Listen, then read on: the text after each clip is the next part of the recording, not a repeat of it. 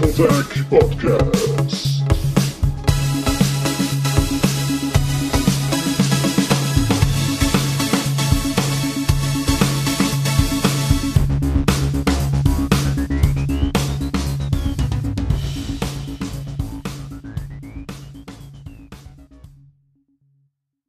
Hallo und willkommen zur neuesten Ausgabe vom Battlepod. Heute haben wir den zweiten Teil in der Geschichte des Hauses Kurita.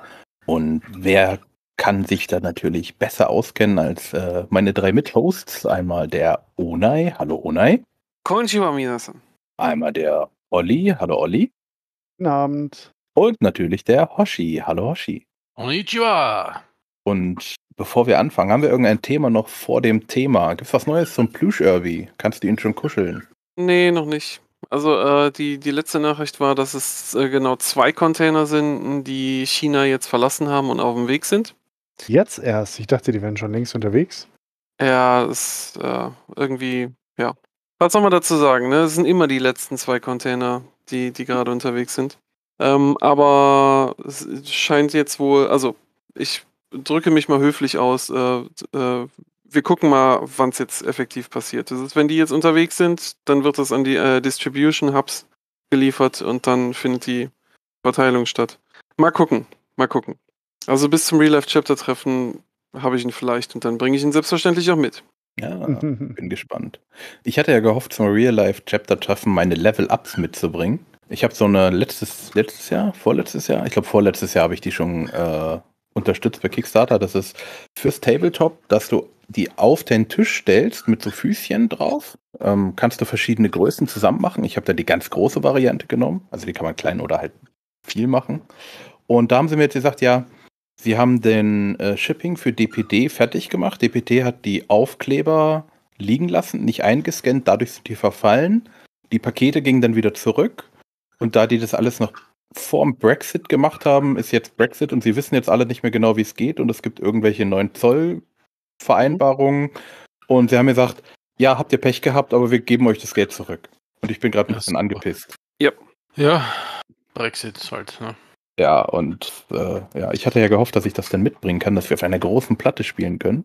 Und unten drunter dann noch Platz haben für die Unterlagen und Getränke, dass wenn die umfallen, dass dann nichts auf den Dings geht. Ja, jetzt bin ich unentschlossen. Es gibt jetzt ein neues Kickstarter von einem anderen Produkt, die auch sowas anbieten mit LED und ganz fancy. Jetzt bin ich, weiß ich nicht, ob ich da noch unterstützen soll und mir das anderes Geld geben soll oder ob die es jetzt doch noch schicken. Ich habe keine Ahnung. Ja, LED macht alles besser, also das würde ich schon machen. Aber ne, es ist, probier's doch einfach mal. Ba- Baumarkt. Da kannst du dir ganz bestimmt auch was machen. Ja, aber das ist halt das Tolle an diesem, es ist modular, du kannst es ineinander stecken, dann wird es halt immer größer. Das war ja der Vorteil davon. Also natürlich könnte ich mir einfach noch eine große Platte nehmen und auf den Tisch stellen, aber was packst du denn, wo packst du ihn hin, wenn du sie nicht haben willst? Dann hast du halt eine große Platte und so hast du halt so einen kleinen Karton, so. Ja. Mal gucken, was passiert. Ich werde berichten, wenn ich mein Geld oder das Ding endlich bekomme. Genau. Gibt's sonst was Neues? MWO? Ich habe ehrlich gesagt in den letzten Tagen nicht so wirklich gespielt. Also ich weiß es nicht. Kann man nicht irgendeinen Mech gewinnen? Ständig. Ständig. Ja, das ist das ist im Moment ständiger. Also MWO haut im Moment sehr viele, äh, ja, so Events raus, sag ich mal. Im Moment ist da, ist, glaube ich, das Beach Party Event oder so irgendwie. Ui. Irgendwie sowas. Äh, also Clan-Max äh, sind wohl gerade groß drin. Also ich glaube, er hat irgendwas mit, also es ist äh, Warden, Booster Pack kann man kaufen, da ist ein Dyer drin. Timbies kriegt man, kriegt man wohl auch gerade hinterher geschmissen. Genau, ziemlich vieles on sale. Ja. Und das, dieses Beach Party, das ist so ein Lootbag-Event, also quasi, wo man so, äh, ja, eben so Lootbags sammeln kann, die man dann eintauschen kann, je nachdem, wie viel man gesammelt hat. Mhm. Deswegen spielen, spielen, spielen und dann bekommt man noch jede Menge Sachen gratis. Mhm. Und wie sehen die Server aus? Äh, immer die gleichen oder spielen wieder einige? Ich war nicht mit Lootbags, sondern mit Sandsäcken in letzter Zeit beschäftigt, so ein bisschen. Ähm, keine Ahnung. Ja, Hochi ist eh unser Autofahrer im Moment. Genau, also ich war mit, ich war mit, äh, ja, Ja, du Sonne kannst mal äh, äh, Shameless Self-Publishing machen und erzählen, was du da machst. Mit was? Äh, was du beim ähm, diesem Autospiel mit großen Bällen machst. Also bei Rocket League, ja, also wir haben quasi so ein, ich nenne es jetzt mal Amateur-Team, ja, und spielen halt in der, in der deutschen Nitro League mit Division 5 jetzt. Und ja, wir versuchen da ein bisschen höher zu kommen im Moment mit weniger Erfolg, weil uns ein Teammember abhanden gekommen ist. Und ja, jetzt versuchen wir da das halt wieder mit einem neuen Teammember wieder aufzubauen. Mhm. Aber es ist halt schwierig auf einem hohen Level, weil wenn du halt, es ist wie in jedem anderen Teamsport, ne, wenn du aufeinander eingespielt bist, so wie im Tennis-Doppel oder so, dort sind, also bei Rocket League sind es halt drei Leute, ja, dann äh, Mhm. bist du halt ganz gewohnt, was deine anderen machen und musst nicht hinschauen, was der andere tut, ne? Mhm. Und wenn dann einer abhanden kommt und du musst einen neuen wieder quasi anlernen, dann nimmt halt dein ganzer Spielfluss etwas ab, weil du halt immer drauf schaust, was der jetzt gerade tut, ne? Und Ja. das bremst das halt ein bisschen. Na, dann drücken wir die Daumen, dass die Einarbeitung schnell vonstatten geht. Genau, danke, danke. Okay, dann würde ich sagen, ich habe, äh, ihr seht es jetzt nicht, aber wir haben unsere Kameras an. Ich habe schon das richtige Hintergrundbild, die Faust. Äh, Mhm. Der, der Gegner vom Hause Kurita. Uh, Oder der zweitliebste. Was ist, was ist eigentlich der liebste Gegner? Sind die jetzt eher De, äh, Davion oder Davian? Oder eher Steiner? Was ist da der Lieblingsgegner? ist also Der vom Battletech, vom Battletech-Lore her oder von, von dem, was wir so erlebt haben in unserer Battletech-Geschichte? Äh, MWO-Geschichte. mit der, na, dann fangen wir erstmal in der Geschichte an und danach äh, Lore. Ich, ich glaube, in der Geschichte, Unai und, und Hoshi können vielleicht noch sagen, glaube ich, ist der, der, der Haus Davian die größere Bedrohung und äh, der erbittertere Gegner. Allein im vierten Nachfolgekrieg äh, mit dem Fuchs, ne, Hanse Davion, das ist schon, glaube ich, auf die Steiners, da schaut man so ein bisschen herab, ne? die, die nimmt man so mit und das lief ja auch jahrhundertelang ganz gut gegen Haus Steiner und wenn es so weitergegangen mit der Geschwindigkeit, irgendwann wären sie wahrscheinlich dann aufgefressen worden. Ne? Also von daher würde ich sagen, ist ähm, der gefürchtete Gegner im Lore Haus Davian und der entspanntere Gegner die Steiners. Wer, welche Fraktion wäre von wem aufgefressen worden? Steiner von Kurita über lange Sicht. Und warum? Das ist so, die, äh, also äh, Haus Steiner äh, überzeugt halt mit einer großen industriellen Macht. Das heißt also, äh, das ist, äh, wenn wenn wenn, es irgendeinen militärischen Konflikt gab, dann war immer so, äh, so ne, die klassische Steiner Scoutlanze, ne? Man, nehm, man nehme vier Mhm. Atlanten. Ähm, ähm, das, das ist so an sich funktioniert das, aber es fehlt halt so an diesem, an diesem Gewitzten, an der, an der, an der militärischen Expertise. Hm. Äh, und das ist so etwas, was, was das Haus Davion halt mitgebracht hatte. Ähm, und was sich halt auch in vielen, vielen äh, äh, Geschichten halt auch, auch immer wieder gezeigt hatte. Äh, und äh, auf, auf längere Sicht hätte, hätte Haus Steiner verloren, weil einfach nur die Industrie zu haben, ohne zu wissen, wie man sie wirklich zielgerichtet einsetzt, Ja. ist halt nicht erfolgsversprechend. Nein. Ja, also vor allem Steiner hatte halt das, meiner Meinung nach auch das Problem, dass die, also die hatten ein, ein noch labileres Regierungssystem als Davion, ne? weil bei Davion vor allem sich dann in, äh, sobald Hanse Davion an der Macht war, das schon sehr fokussiert hat und der war ja quasi so wie der Gottkaiser, ne? Hm. Ähm, und ähm, Katrina Steiner wurde zwar vom, vom Volk geliebt zu der Zeit, ja, aber ähm, nicht unbedingt von allen politischen Mächten. Ne? Ja. Und deswegen war es auch immer wieder politisch getrieben von, ja, ob wir jetzt da wirklich alle Truppen hinschicken, liebe Katrina, das können wir da nicht sagen und so. Und sie musste da auch sehr vorsichtig agieren teilweise. Und wenn du halt so Tiptoeing machen kannst, musst und nicht äh, fokussiert kämpfen kannst gegen einen Gegner, wäre es halt blöd gewesen. Ne? Und ich sag, die, der Zus- Zusammenschluss mit den Davions ist sicher auch ein Stück weit aus der Furcht getreten gewesen, dass äh, hier quasi die, die Kuritas relativ stark auf die eingehämmert haben. Hm. Also ich sage jetzt nicht, dass, dass das äh, Haus Steiner äh, nicht auch seine, nicht auch seine äh, glorreichen ähm, Zeiten hatte während den ganzen Nachfolgekriegen, sonst wären sie ja schon längst äh, eine, eine kleine Provinz äh, am Rande des Draconis-Kombinats. Ja, vor allem, Ähm, sie hatten ja gewisse Einheiten, die absolut auch herausragend waren, ja. Genau, genau, Ja. genau. Und Ja, wie gesagt hatten auch sie halt das Material, Masse. ne? Genau. Das, das, das Material, das, Genau. das sie halt auch haben, ist halt Und sie hatten. Die besten Söldner, ne, also sagen wir nur Kellhounds, ne? Okay, so ich würde sagen, da äh, kommen wir jetzt zu tief rein. Ähm, Ja, okay, Ich okay, mich okay. schon auf äh, den Podcast über Steiner. Aber Ähm, jetzt kommen, kommen wir mal zu, noch mal zu der, zu der spielerischen Perspektive, Genau. nach der du gefragt hast. Ne? Da ist Mhm. es eigentlich äh, genau umgekehrt. Also würde ich Mhm. sagen, ähm, bei Deviants äh, waren traditionell, also nicht alle natürlich, aber häufig jene Truppen vertreten. und jede Spieler vertreten, die gedacht hatten, der Name reicht aus, Davian, um Furcht und Angst zu sehen. Aber das waren keine guten Spieler. Das war mehr der, der, war der Wunschvater des Gedanken. Ne? Wie gesagt, Ausnahmen bestätigen die Regel, gar keine Frage. Ich weiß auch, mit Team Mansai gab es zur Mechforce und später Nice Dice eine verdammt gute Davian-Einheit ne? und auch die Second Davian Light Guards. Aber die waren halt wirklich die Ausnahmen eigentlich eher. Ähm, viele Davian-Einheiten waren wirklich so, oh, ich will die Helden spielen, wir sind Helden, wir haben den Namen und automatisch sind wir gut. Und bei Steiner waren halt zumindest in unserem Dummungskreis viele deutsche Spieler, die sehr solide gespielt haben, die gut gespielt haben, waren auch einige Söldnereinheiten, wie die Knights of St. George, aber auch in MWO kennen wir ja einige äh, Steiner-Einheiten, die wirklich es damals auch drauf hatten zu der Hochzeit. Ne? Also, wenn wir Stress gesucht haben, dann ging es an die Steiner Grenze. Wenn wir einen lustigen Abend haben wollten und uns vergnügen, dann ging es halt zu den Deviants. Mhm. Also, liebe Davion-Zuhörer, es, es tut mir schrecklich leid, aber zu, äh, gerade zu Anfang der Faction Play-Saison waren die besten Schützen die Turret-Schützen und die, Landungsschiff und, und die Landungsschiffschützen. Ja, Das war manchmal ein bisschen, ja, Robbenkloppen. kann, kann man nicht anders sagen, das tut mir leid, Ja. aber wie gesagt, es, es gibt Ausnahmen, aber es ist halt eine Schwalbe macht keinen Sommer, ne? Mhm. Oder sagen wir mal, ein, ein äh, Rifleman, äh, oder was auch immer, macht kein äh, Hanse Davian. Jo, und jetzt zu Haus Kurita. Oh nein, Genau. wo sind wir denn stehen geblieben? Der Sternenbund. Der Sternenbund ist gegründet worden. Was bringt das für die innere Sphäre? Was bringt das für Haus Kurita? Das heißt, wir haben so im, äh, im Jahr 2751, so circa, haben wir aufgehört und beginnen dann an der Stelle auch wieder. Ja, wir haben, glaube ich, das letzte Mal schon gesagt, dass quasi die Kuritas eigentlich als letzte dem Sternenbund gejoint sind, ne? Genau, genau. Und die Zeit war reif, dass sich das alles so ein bisschen entspannt. Und das war auch, äh, ich sag mal so, ein, bisschen durchatmen in der, in der ganzen Geschichte.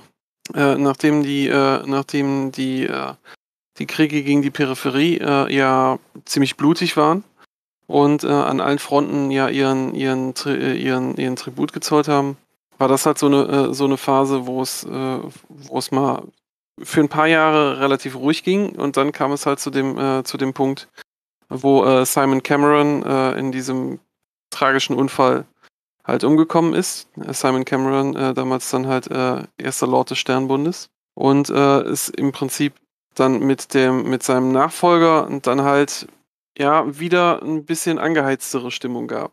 Sein Nachfolger hat nämlich dann erstmal beschlossen, dass ähm, dass das ganze, äh, dass diese ganze Militär, ähm, das ganze Militär generell viel zu viel ist und hatte ein, äh, ein, eine Order rausgelassen, dass alle Hauslords erstmal abzurüsten haben.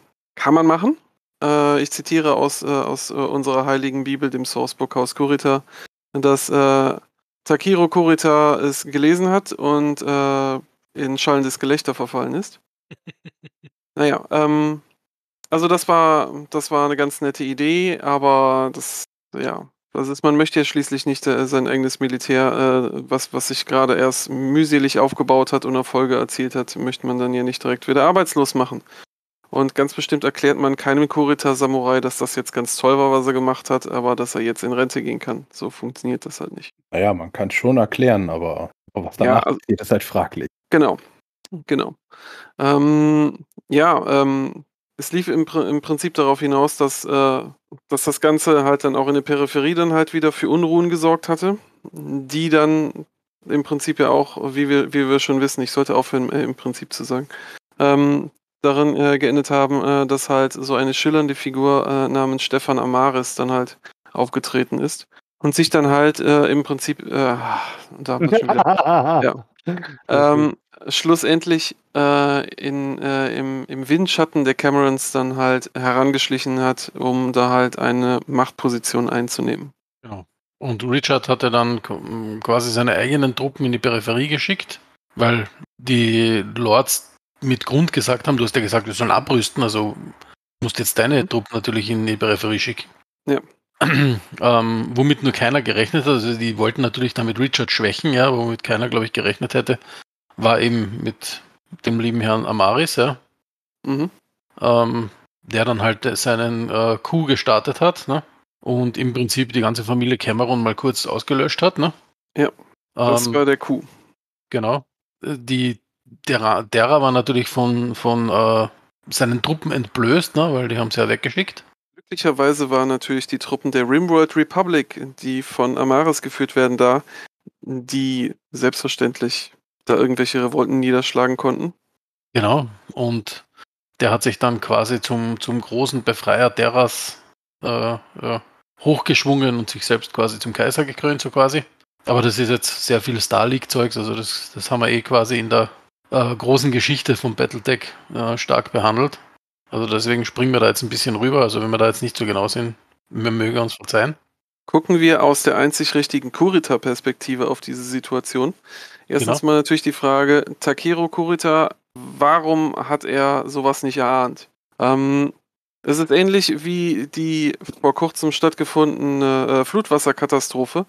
Man hat schon mit so einigen schlimmen Sachen gerechnet, aber dieses Ausmaß war dann doch auch etwas, was, was hier nicht ja, vorhergesehen werden konnte. Und der Und, Knabe äh, war 120 Jahre alt. Genau. Genau, 121 war er sogar, als er festgestellt hat, hm, da ist noch ein Verwandter auf Terra und äh, Stefan Amaris hat ihn mal als Gast bei sich aufgenommen. Juhu, das ist aber schön. Ähm, vor diesem Hintergrund, weil halt äh, Mitglieder der Kurita-Familie äh, auf Terra gefangen gehalten worden sind, hat sich, äh, hat sich der Drache auch relativ passiv verhalten. Haus Kurita hat nicht wie, wie andere Nachfolgestaaten und im Besonderen halt die, die Star League Defense Forces dann halt äh, sofort den offenen Krieg gegen, äh, gegen Stefan Amaris geführt. Äh, sondern man hatte immer befürchtet, dass, äh, dass wenn Haus Kurita halt da aggressiv gegen vorgeht, dass, äh, dass da dementsprechend das Blut des Drachen halt auch auf Terra fließen wird. Ja, Das hat so, so. Bitte. Ja, und, und erst quasi als Alexander Kerensky dann in den vollen Krieg eingetreten ist gegen Terra, ne, haben sie, haben die Kuritas eben äh, seinen, seiner Flotte quasi einen äh, Stützpunkt gegeben, äh, von dem aus sie Terra angreifen konnten, ne? Genau. Im- Und den- Vor, Da unterstützt die dahingehend, ne? Genau, vorher, vorher sind leider so ein paar unschöne Sachen passiert. Ähm, also Star League Defense Forces war es nicht gestattet, in, in äh, Kurita Luftraum reinzu, reinzukommen.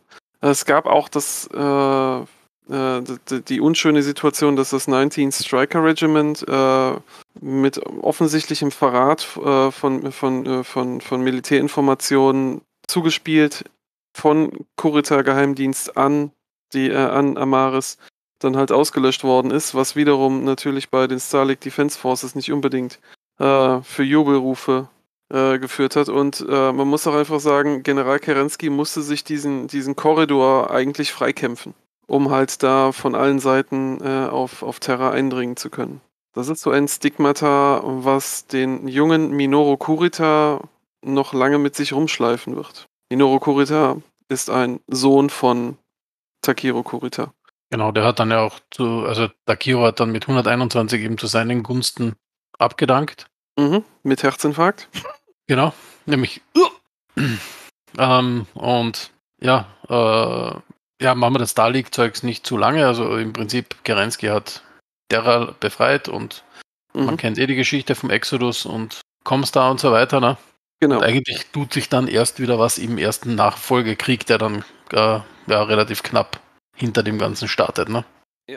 Ähm, jetzt beginnt im Prinzip so, so die Phase des, des, des Grindens. Also jeder Nachfolgekrieg äh, wurde, wenn, wenn man das einfach mal von den, äh, von, von den Anzahl der beteiligten Regimenter betrachtet, ist immer, ist immer weniger geworden. Also äh, erste Nachfolgekrieg, ähm, wenn es Konflikt an der Davion-Grenze zum Beispiel ging, äh, sind halt äh, 50 Mech-Regimenter von Kurita aufgestellt worden, äh, gegen unwesentlich weniger Mech-Regimenter von, äh, von Haus Davion plus noch äh, Supporting Reg Regiments, wo wir dann später dann halt sehen müssen, so über die nächsten 200 Jahre waren so die Beteiligungen an den Konflikten so maximal ein Dutzend, bisschen mehr Regimenter insgesamt, also ein paar Mech-Regimenter und dann halt noch ein bisschen Panzer, Infanterie und was man sonst noch so zusammentrommeln konnte.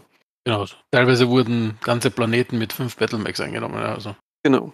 Aber eben im ersten Nachfolgekrieg ist es ja so, also ganz kurz eben, Comstar übernimmt quasi den HPG-Krieg und so weiter. Ne? Und jeder Nachfolgelord äh, sagt, er ist der erste Lord des Sternenbundes. Ne? Also Minoru Kurita macht das auch. Äh, 2786 sagt er, er ist jetzt der erste Lord. Ne? Ähm, und äh, dann haben sie aber zuerst mal quasi einen äh, Kampf angefangen mit, äh, mit deinem Lieblingsfreund Ike, nämlich mit den Lyrianern.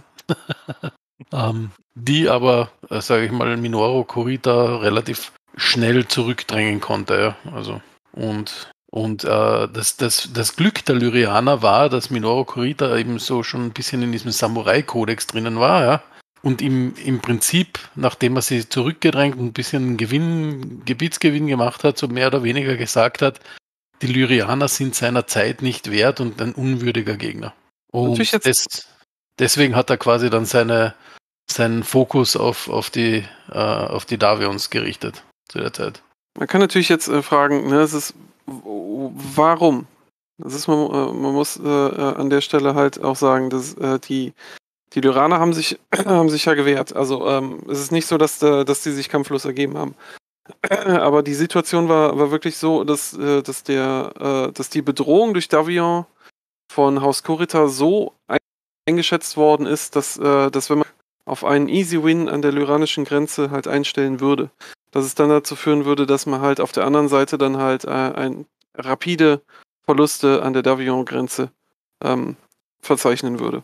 Und das wollte man halt so nicht eingehen. Deswegen war dann halt auch relativ einfach die Entscheidung gefällt, dass man sich halt dem würdigeren Gegner zuwendet, der halt auch das größere Bedrohungspotenzial hat. Genau, und vor allem haben sie das zu einer guten Zeit gemacht, nämlich 27, 87.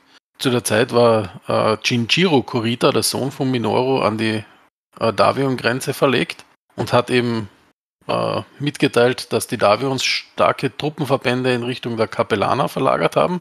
Weil man weiß ja, die Davions hatten die Kapellaner immer schon richtig lieb, ne?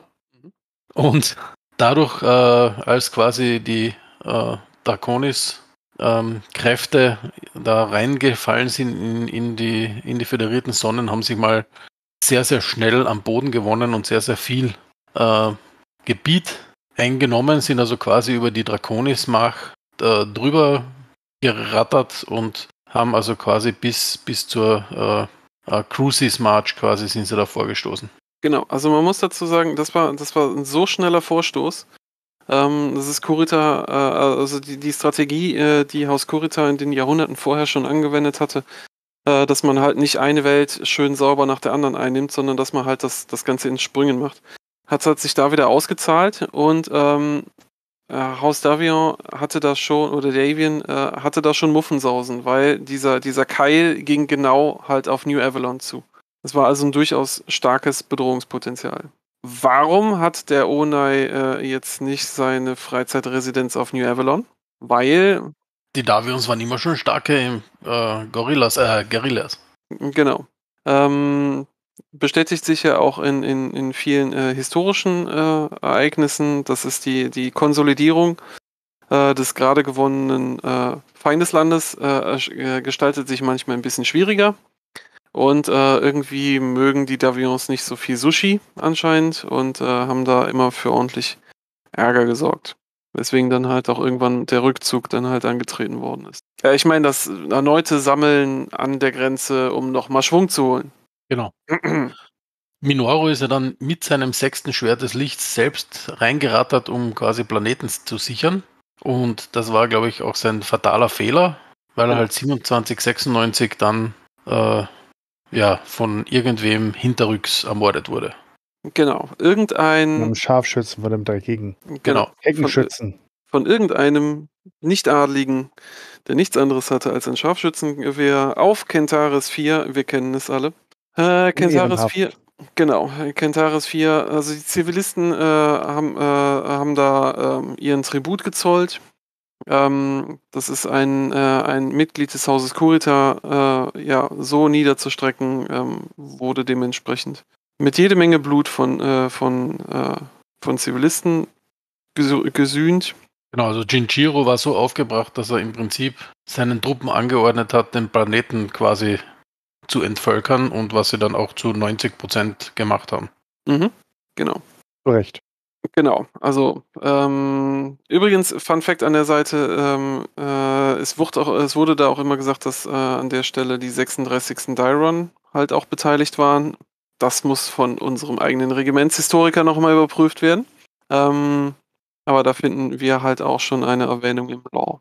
Genau, wobei viele äh, Kommandeure sich geweigert haben, quasi das da mitzumachen und äh, Sebuku begangen haben, weil sie mit der Scham quasi nicht leben konnten und dann wurden halt Marionetten quasi vorgesetzt, die dann die Regimenter in den Kampf geführt haben. Genau. So, welche Situation haben wir dann also im, äh, in, äh, in dem Draconis Combine Mastered Soldiers, also in, im Militär des Draconis Kombinats? Wir haben einen, äh, ein Großteil des Militärs steht auf mehr oder weniger feindlichem Boden, noch nicht befriedet. Ähm, wir haben Guerillakrieg, wir haben offensichtlich äh, ein, ein, Mitglied des Hauses Kurita, was, was gefallen ist unter schändlichen Umständen. Äh, wir haben gleichzeitig ein, ein anderes Mitglied des Hauses Kurita, was, was äh, Rache übt, indem sie äh, Zivilisten hinrichten.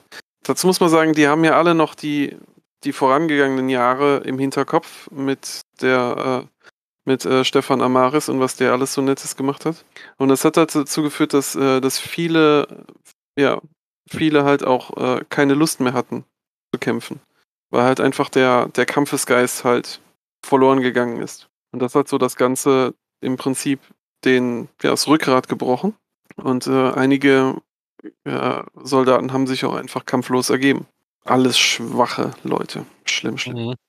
Mhm. Ja, und im Prinzip, ähm, das Schlimme war halt im, im ersten Nachfolgekrieg, dass sehr viele halt eben, vor allem auch eben durch so, solche Gemetzel im Draconis Combine, aber auch in anderen Gebieten, dann die Ares-Konvention komplett über Bord geworfen haben. Ne? Mhm. Und es wurden äh, Sprungschiffe zerstört, äh, zivile, also Städte zerstört, ko komplette ähm, ähm, Wissenschaftseinrichtungen zerstört. Also es war quasi so totaler Krieg, kann man sagen. Ne? Und das hat auch dann im Prinzip, wie sage ich im Prinzip, im Prinzip diesen Rück, diese Rückentwicklung der Menschheit ausgelöst, ja, dass man also irgendwann nicht mehr wusste, wie man Sprungschiffe baut und so weiter, das im Prinzip alles in diesem ersten Nachfolgekrieg so ausgelöst worden. Ne? Genau. Das ist also äh, militärische Ziele, ist nicht so, wie, wie man das halt so in den in den aktuelleren äh, Battletech-Büchern liest, äh, sind Ziele, die man möglichst äh, intakt nehmen, einnehmen möchte, weil man äh, halt diese Ressource noch braucht, sondern damals war halt, ähm, es gab eine, es gab eine Mac-Fabrik, die stellt Mac XYZ her und äh, ja, wir möchten dem Gegner äh, es nicht mehr ermöglichen, die zu produzieren, also wurde die ganze Fabrik erledigt. Überleitung nehme ich dann dazu. Eine große Welt, die bekannt ist für ihre, für ihre Mac-Fabriken im Steiner Raum Hesperus 2. Genau. Äh, das war immer, äh, immer ein, äh, ein Juwel am Rande des Draconis-Kombinats, was unheimlich viel Militärgerät für das Haus Steiner produziert. Blöderweise auch relativ schwer zu knacken. Ähm, ich habe äh, irgendwann mal äh, gelesen, wie viel, wie viel Invasion Haus Kurita gestartet hat, um diese Welt einzunehmen. Schwer ähm, zu knacken, außer du bist Buchautor und willst unbedingt die Great Death Legion umbringen. Dann geht es genau. leicht. Genau. Hm. Ich glaube, es waren sieben uh, oder acht. Großer Diss. Mhm. Genau. Äh, und äh, das ist äh, etwas, wo, wo man äh, in den ganzen Konflikten, bei den ganzen Nachfolgestar äh, Nachfolgekriegen ging es früher oder später immer um Hesperus äh, und es hat immer jede Menge Krach da gegeben. Und irgendwie haben, hat äh, South Kurita nie geschafft, es wirklich 100% einzunehmen. Mhm. Ja, etwas Gutes hat der liebe Jinjiro aber noch gemacht. Nämlich er hat den People's Reconstruction Effort gegründet nach dem ersten Nachfolgekrieg, zu Beginn des zweiten Nachfolgekriegs, mhm. ähm, woraus auch die Akademie of Dover entstanden ist, was so im Prinzip ähm, ja dann im, der Grundstein dafür war, dass sie später wieder an Technologie gewonnen haben, also viel später. Ja. Aber im Prinzip hat er diesen Grundstein gelegt, äh, damit also das, äh, ja, die Wissenschaft und so nicht komplett untergeht im äh, Draconis-Kombinat. Auch wenn das quasi seine letzte, sag ich mal, normale Handlung war, denn danach ist er quasi in den Wahnsinn abgedriftet. Mhm. Und ja. Das Ganze immer unter, äh, unter dem, dem, dem, äh, ich sag mal, von einem Tenor äh, äh der, der, der einer, eines japanisch angehauchten Staates. Das heißt also, äh, Das ist, man hat sich zurückbesonnen, wie das, wie das damals in der Antike war. Und hat versucht, das dann halt mit, mit dieser, äh, auf, auf, auf Basis dieser Kultur aufzubauen. Das heißt also, äh, es sind äh, zu der Zeit auch einige, äh, einige Sachen aufgekommen, wie äh, dass Dispute unter, unter Adligen äh, wurden im ehrenhaften Zweikampf ausgefochten. Äh, und der, der gewonnen hat, hat halt recht. Ja? Sollte man vielleicht heute auch mal machen. Wären Bundestagsdebatten viel spannender, finde ich. Mhm. Ähm, Mhm. Aber das ist halt wieder so das, das, äh, das Besinnen auf alte Werte, was da halt wieder, wieder stattgefunden hat. Und das Besinnen auf alte Werte heißt ja auch, die Japaner haben immer ganz gern äh, untere soziale Schichten als Kanonenfutter benutzt. Ne? Und sein, der Leibarzt von, von äh, äh, Minoru äh, hat, ihn, hat ihm ja auch gesagt, er ist zwar wahnsinnig, aber ein brillanter Stratege, also soll er in den Krieg ziehen. Ne? Mhm. Und deswegen hat Minoru dann im zweiten Nachfolgekrieg auch äh, dann angefangen, einfach Battle-Mechs ähm, an ja, Outlaws, also Gesetzesbrüchige, irgendwelche niederen Leute oder sonstige Leute auszugeben mit minimalem Training. Ja? Also der, die haben die quasi so ein paar Wochen angelernt, in ein Battle-Mech gesteckt und einfach mitten in äh, benachbarten Industriegebieten und irgendwas abfallen lassen und je mehr quasi Schaden sie anrichten, ja, desto gut. Ne? Mhm. Und jetzt muss man sagen, das, äh, das, das war so die, die Anfangsphase. Ähm, äh, später sein, ich glaube, es ist sein Sohn, äh, Jinjiro Kurita. Ähm, dem gefiel die, die, äh, die ganze Aufmachung des, äh, des, wie jetzt das Militär geführt worden ist, äh, so gar nicht. Äh, er, er hat kritisiert, dass, dass viele von den Erfolgen halt einfach äh, durch, durch Inkompetenz von, äh, von, von den eigenen Soldaten ähm, herbeigeführt worden ist, was dann halt dazu geführt hat, dass er, dass er rigoros äh, Offiziere äh, hat exekutieren lassen in Immer eine gute Idee. Siehe Stalin. genau. Das äh, ermutigt direkt jeden loyalen Soldaten, sich zu engagieren. Funktioniert auch übrigens hervorragend auf irgendwelchen Sternzerstörern, wenn irgend so ein schwarz gekleideter Mensch rumläuft. Naja. Ja. Kommt ja ursprünglich von den Römern, äh, die das gemacht haben. Wenn da jemand, äh, wenn die da flohen, da habe ich neulich erst einen Bericht gesehen, dann haben die, das war dann diesen, jeder Zehnte wird platt gemacht. Mhm. Und äh, bei den Offizieren genauso. Das ist dann Nachschub von unten, ne? Kann man Genau. machen, muss man nicht. Genau, Admiral Beard. Genau, Entschuldigung angenommen.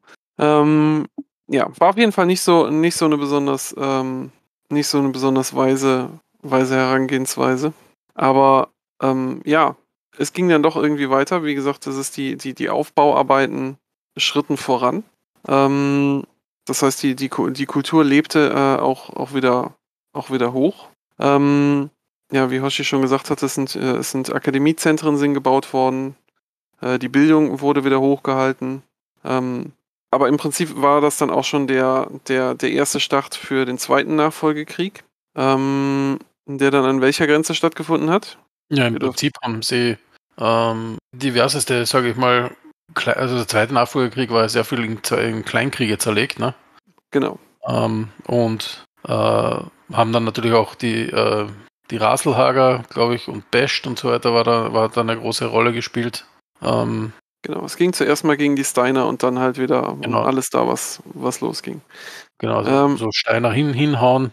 Und während dieser ganzen Gefechte hatte auch Jinjiro dann irgendwann äh, den zumindest geistigen Löffel abgegeben, ne? Kleine Randnotiz, aber da möchten wir uns auch nicht zu weit, äh, zu weit verlaufen. Äh, der Minnesota Tribe ist so Okay. eine im, im Battletech-Lore eine kleine, eine kleine Randnotiz, ähm, die allerdings später ähm, für, für, sagen wir mal, so die, die Anfänge des Battletech-Lore, wo es in den Romanen halt beschrieben wird, äh, doch eine große Rolle spielen. Ähm, äh, der Minnesota Tribe ist, äh, sagt, dem, äh, sagt dem Story vielleicht was? Ja. Achso, jetzt im Detail. Nee, das- Äh, ich kann auch erzählen, wenn du möchtest. Äh, also ich kriege die Details nicht mehr zustande, aber das war äh, so, so eine, ja, wie ich das, eine abtrünnige Einheit. Auch äh, durchaus elitär, besonders gut. Und wir kennen ja sogar eine MWO-Unit, die sich nach dem benannt haben, die 331. Mhm. Es sind so, so mysteriös, sie kommen, sie kommen aus dem Nebel, sie sind sehr elitär, äh, sie prügeln sich durch, sie, äh, sie, sie machen irgendwie komische, komische Verhandlungen und verschwinden dann wieder. Ähm, es ist ja dann später auch beschrieben worden, dass diese Minnesota, äh, Minnesota Tribe im Prinzip eine, die erste, ja, die ersten Scout-Versuche der Claner waren, äh, die halt geguckt haben, wie sieht's denn da jetzt aus? Ne? Das ist, äh, ist ja gerade noch die, die Selbstzerstörung mitten am Laufen? Oder sind sie schon fertig und wir können mal gucken, äh, was wir da aufbauen können?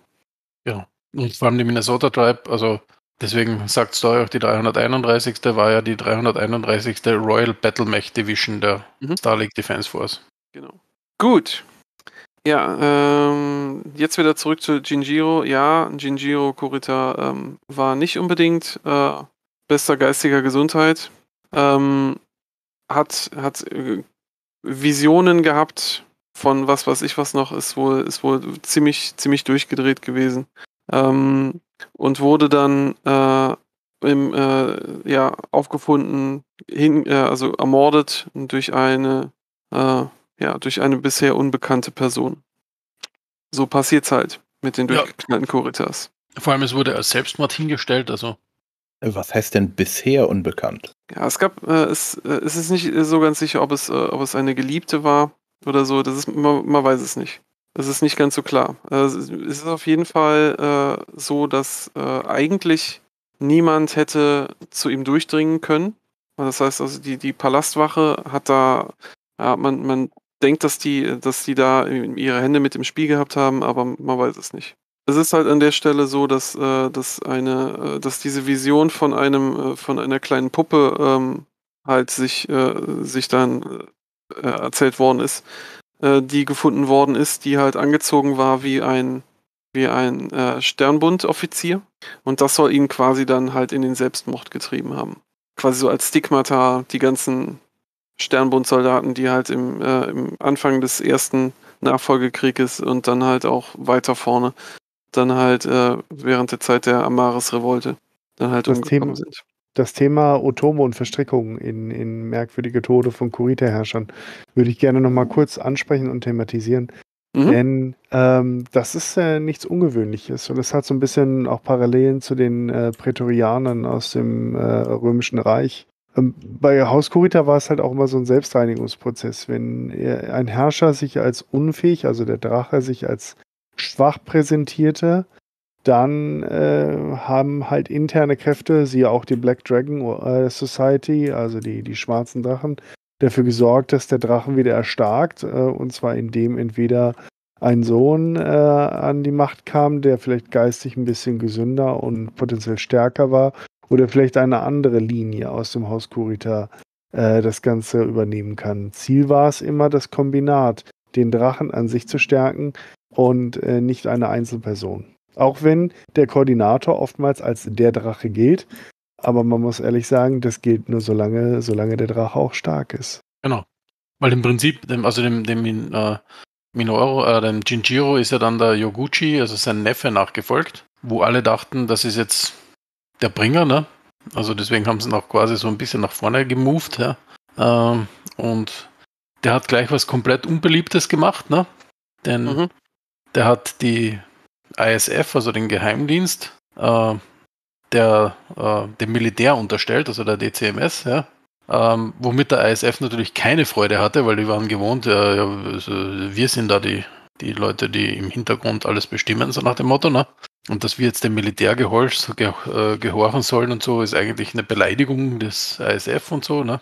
Und die haben dann quasi so hinter den Kulissen so die Fäden gezogen und haben damit äh, Yoguchi ein bisschen ziemlich die, ja, die Ressourcen geraubt, ähm, worauf Yoguchi noch einen Fehler gemacht hat. Nämlich er hat seine Schwester Rowena, die immer ganz lieb zu ihm war, ähm, zur Koordinatorin des BAE, also des People Republic, äh, People Restoration Effort, den wir angesprochen hatten, gemacht.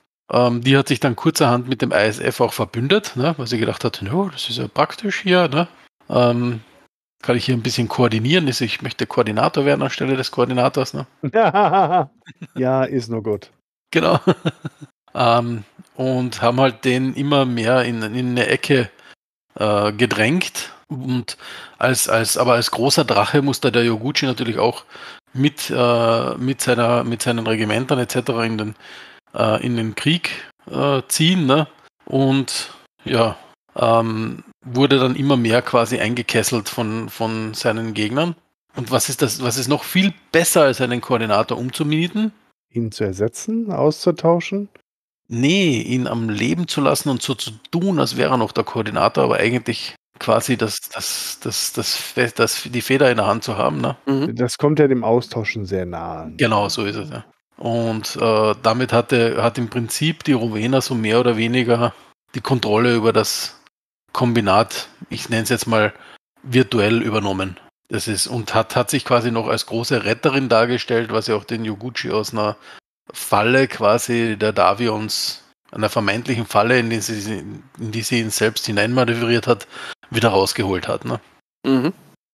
Äh, Was kommt danach, ist natürlich die große Frage. Also das äh, Haus Kurita hat, äh, hat sich an der Stelle äh, halt wieder mal ein bisschen, ein ganz klein bisschen blamiert, aber man hat versucht halt äh, so gut wie möglich zu kaschieren. Ähm, aber äh, der, der Ruf, der hatte ein bisschen Schaden genommen. Ergo musste dieser, dieser Fleck ausradiert werden. Also es zieht sich auch schon so richtig durch. Irgendwas hat Schaden genommen und dann ist immer dann, also die Antwort ist doch eigentlich immer nur, es muss etwas ausradiert werden, oder? Genau. Und, und deswegen haben sie dann nach großen Hin und Her und dann hat man sich doch ein bisschen eine Blamage den Yoguchi doch umgenietet. Ne? Genau. Eine Und zwar Konkubine, die Lyrianer. genau. Das ist die äh, Snowfire-Affäre. Genau. Also die vermeintlichen Lyria- Lyrianer, man weiß nicht, ob sie es wirklich waren, haben eine Konkubine quasi geschickt, die dann den Yoguchi um die Ecke gebracht hat. Und man konnte natürlich jetzt als sein Nachfolger, nämlich sein Bruder Miyogi, äh, sagen, ihr lyrianischen Schweine, ihr habt meinen Bruder getötet, hurra die Gams. Genau. Und dann kommt es. Wir gehen mal ganz kurz in, in den Detailmodus rein. Was ist äh, die lyranische Welt, die auf jeden Fall in den Besitz des Drachen gehört? Hesperus 2. die wir vorhin hatten. Ja, ja, wollte ich gerade sagen. Noch eine andere fällt mir jetzt gerade nicht ein. Genau. Genau. Da gibt es noch, da gibt's noch so eine Hauptwelt, aber da, da passiert eigentlich nichts. Ach, Ähm, Gott, ja, Skiunfälle und sterbende äh, Archone, ne? Man weiß es nicht. genau. Ähm, Hesperus 2. Ähm, wir haben, äh, wir sind quasi so in, in, in der Auflösung der Hochtechnologie. Das heißt, äh, das ist die, die Kuritas schmeißen alles rein und wollen diese Welt wirklich haben. Diese Fabrikwelt, äh, äh, die Verteidiger dieser Fabrikwelt sind eigentlich so gut wie aufgelöst. Heroisch, wie es nun mal so, äh, wie es nun mal so ist, äh, im, im Anbetracht der Tatsache, dass die, äh, dass die Kuritas weniger Sold bezahlen als die Steiners, äh, schmeißen sich die, äh, die, aber die Arbeiter, die normalerweise die Mechs nur von A nach B marschieren lassen innerhalb der Fabrik, werfen sich in die Maschinen und schmeißen sich in einem Anfall von Größenwahn auch nochmal ins Getümmel rein, um halt die mordlüsternden Kuritas davon abzuhalten. Die, die Fabrik einzunehmen. wolltest du sagen? Äh, Friedensstiftenden, genauso. So, und dann kommt, äh, kommt äh, das Haus äh, Steiner noch auf die perfide Idee, ein Museumsstück wieder in, äh, in den Kampf zu schmeißen. Und zwar die LCS Invincible, ein Tharkat-Class Warship, was eigentlich ja nicht mehr zu gebrauchen ist. Spoiler Alert, da hat wahrscheinlich der, jemand, der diesen Teil geschrieben hat, zu viel Battlestar Galactica geguckt. Auf jeden Ja. Fall, das war Also die die haben letzte den quasi in den Weltraum geschoben nochmal. Genau, nochmal noch mal schnell auf drei Rädern und ne, bisschen Schwung, das klappt schon. Ein Riesenpott ins Hesperos-System rein, wie sich das nun mal gehört für heroische Schiffe, die von Zylonen, äh, ich meine Kuritas angegriffen werden. Auf der einen Seite werden, werden die Bodeneinheiten von, von, äh, von Kurita beschossen. Auf der anderen Seite beschießt man die letzten vier drakonischen Kriegsschiffe und besiegt sie dann zum Schluss auch noch. Das heißt also, die HMS, äh, die LCS Invincible won the day. Hesperus 2 gehört immer noch Haus Steiner. Und was passiert mit großen äh, Kriegsschiffen im Battletech-Lore, die man nicht mehr braucht? Äh, Sie werden zur oder zerstört? Genau, sie verschwinden in, äh, in einem Fehlsprung und tauchen dann irgendwann später beim Dschihad wieder auf. Oh ja, sehr praktisch. Genau. Äh, wie viele Jahrhunderte ist der Dschihad später? Äh, knapp äh, 150. 150, so in der Gegend. Okay, also die haben sich selber mal Ordentlich versprungen. hergestellt. Genau. Oder Hatte ich übrigens schon mal, schon mal erzählt, das war eine dieses Zeitreise dabei. Genau, das war dieses komische Kriegsschiff, was mit Blake-Kisten-Besatzung dann in Tarkat-System wieder aufkreuzt und irgendwie nichts macht. Und sich denkt, wow, hier sind wirklich Lyraner und verschwinden. Die Besatzung, das Schiff nicht. Ja, also die hatten einen unmöglichen Unmöglichkeitsdrive quasi eingeschaltet. Aber naja, ne, das war die heldenhafte, weiß weiß ich was, dritte, vierte Verteidigung von Hesperus. Genau. Und Miyogi brauchte dann natürlich einen Sieg irgendwie, weil das, Mhm. das hat jetzt natürlich nicht so gut ausgeschaut und hat dann natürlich sich gesagt, okay, dann schmeißen wir uns gegen die Davions. Genau. Und dort ist ihm etwas gelungen, was, was äh, äh, vor ihm nicht viele geschafft haben. Nämlich er hat tatsächlich Robinson eingenommen.